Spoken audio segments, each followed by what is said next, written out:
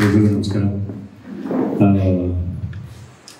ನನಗೆ ತುಂಬ ಖುಷಿ ಆಯಿತು. ಸಿನಿಮಾ ಕಳಿಸಿದ್ರು ಪ್ರಕಾಶ್ ಪ್ರಕಾಶ್ ಹೆಸರು ಬರ್ತಾ ಇವತ್ತು ನೋಡ್ಕೊಂಬಂದೆ ನಾನು ಇಲ್ಲಿ ಎಂಟ್ರ್ ಆಗ್ತಿದ್ದಂಗೆ ಫಸ್ಟು ಎದುರುಗಡೆ ವೀರೇಶ್ ಸಿಕ್ಕ.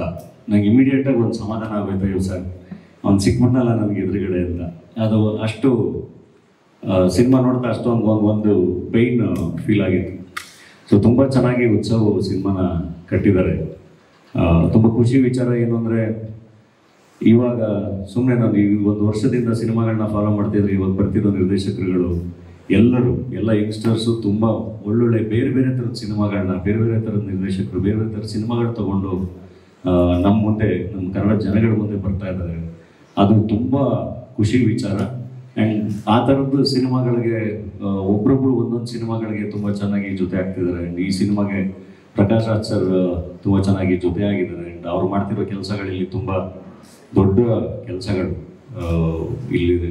ಯೂಶ್ವಲಿ ನಮಗೊಂದು ಯಾವಾಗಲೂ ಪ್ರಶ್ನೆ ಇದ್ದೇ ಇರುತ್ತೆ, ರಂಗಭೂಮಿಯಿಂದ ಬಂದವರಿಗೆ ವಾಪಸ್ ಮತ್ತೆ ನಾಟಕ ಮಾಡ್ತೀರಾ, ವಾಪಸ್ ರಂಗಭೂಮಿಗೆ ಬರ್ತೀರಾ ಅಂತ. ಬಟ್ ನಾವು ಮೈಸೂರಿಗೆ ಬಂದಾಗ ಇಲ್ಲಿ ಒಂದು ಎರಡು, ಮೂರು ಸರಿ ಬಂದಿದ್ದೀನಿ. ತುಂಬ ಚೆನ್ನಾಗಿ ಅವರೊಂದು ಒಳ್ಳೆ ಅದ್ಭುತವಾದ ವಿಷನ್ ಇಟ್ಕೊಂಡು ಕೆಲಸ ಮಾಡ್ತಾ ಇದ್ದಾರೆ ನನಗೆ.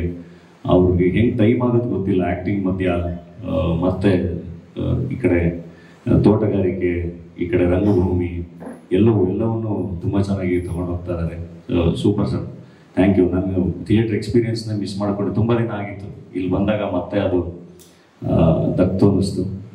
ಆ್ಯಂಡ್ ಫೋಟೋ ಸಿನಿಮಾ ಯಾಕೆ ಇಂಪಾರ್ಟೆಂಟ್ ಆಗುತ್ತೆ ಅಂದರೆ ಯೂಶ್ವಲಿ ನಾವೆಲ್ಲರೂ ನಮ್ಮ ಬದುಕಲ್ಲಿ ತುಂಬ ಬ್ಯುಸಿ ಇರ್ತೀವಲ್ಲ. ನಮಗೆ ಊಟ ತಿಂಡಿ ಸವಲತ್ತುಗಳು ಇನ್ನೊಂದು ಎಲ್ಲವೂ ಚೆನ್ನಾಗಿರುತ್ತೆ.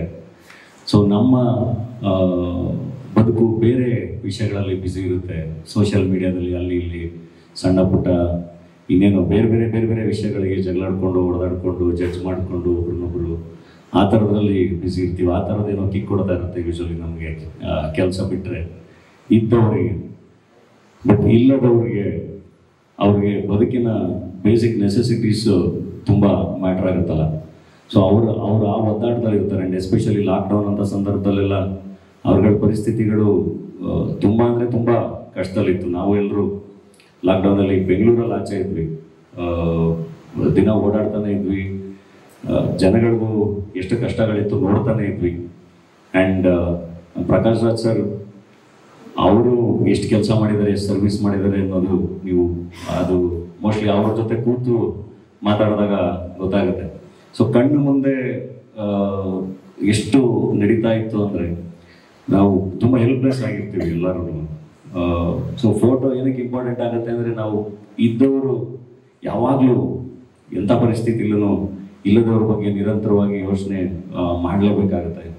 ಆ್ಯಂಡ್ ಅದನ್ನು ಇಟ್ಕೊಂಡು ಯೂಶ್ವಲಿ ಅದನ್ನು ಪೊಲಿಟಿಸೈಸ್ ಮಾಡಿಕೊಂಡು ಇನ್ನೊಂದು ಮಾಡ್ಕೊಂಡು ನಾವು ಕಿತ್ತಾಡ್ತಾ ಇರ್ತೀವಲ್ಲ, ಅದು ಇಂಪಾರ್ಟೆಂಟ್ ಆಗೋದೇ ಇಲ್ಲ. ಪಾಪ ಅವರು, ಅವ್ರ ಅವ್ರ ಬದುಕಿಗೆ ನಾವು ಏನು ಮಾಡ್ತೀವಿ ಅನ್ನೋದು ತುಂಬ ಇಂಪಾರ್ಟೆಂಟ್ ಆಗುತ್ತೆ.